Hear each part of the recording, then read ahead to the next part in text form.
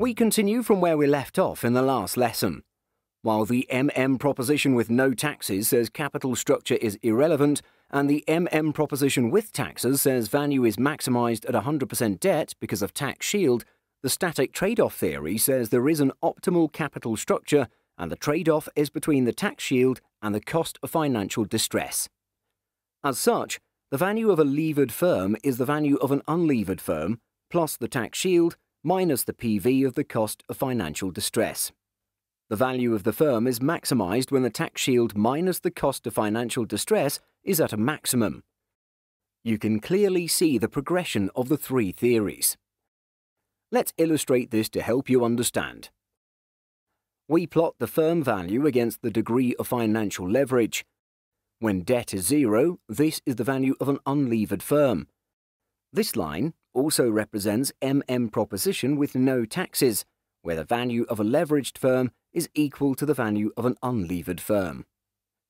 If we factor in tax shield, the value of the firm should always be increasing. This represents MM proposition with taxes, where the value of the firm is maximised at 100% debt. But if we subtract the costs of financial distress, which increases as the degree of leverage increases, we get this curve. This line represents the static trade-off theory, where the optimal capital structure is this sweet spot that maximizes the firm value. We'll explain what exactly this cost of financial distress is later in this lesson, but for now we just take it that it's a cost that increases with the degree of leverage. Another way of examining the static trade-off theory is through the perspective of the cost of capital. If you recall from the last lesson, the MM proposition with no taxes says that the cost of equity increases with leverage, which totally offsets the lower cost of debt. This causes the WACC to be constant regardless of the degree.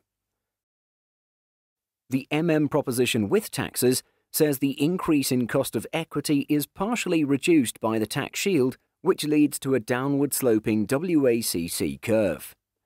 In both the MM propositions, the implicit assumption is that the cost of debt is constant regardless of the degree of leverage, which is not true under the static trade-off theory. Due to cost of financial distress that increases with leverage, the cost of debt should curve upwards. As such, the WACC should look like this, where the minimum coincides with the optimal capital structure for the company. Note that every firm will have a different optimal capital structure that depends on each firm's operating risk, sales risk, tax situation, corporate governance, industry influences, and other factors. A firm's target capital structure is the structure that the managers use over time when making decisions about how to raise additional capital. For managers trying to maximize the value of the firm, the target capital structure should be the same as the optimal capital structure, and the firm often makes financing decisions that aim to bring the actual capital structure closer to the target. In practice, however, the actual capital structure tends to fluctuate around the target capital structure. One reason could be that the management may choose to exploit opportunities in a specific financing source, for example, a temporary rise in the firm's stock price may create a good opportunity to issue additional equity, which would result in a higher percentage of equity than the target. The other reason is simply due to market value fluctuation of the company's stocks and bond prices. Because capital structure weights are determined by market values, market fluctuations may cause the firm's actual capital structure to vary from the target. So, in summary, under MM proposition with no taxes, managers do not have a target capital structure because capital structure is irrelevant. Under MM proposition with taxes, managers should theoretically try to reach 100% debt, as that is where the firm value is maximized due to maximum tax shield.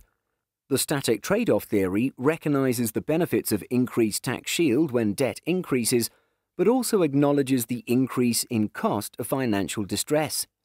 Managers following this approach will seek to balance the benefits of debt with the costs of financial distress and identify an optimal capital structure. You're watching an excerpt from our comprehensive animation library. For more videos like these, head on down to prepnuggets.com.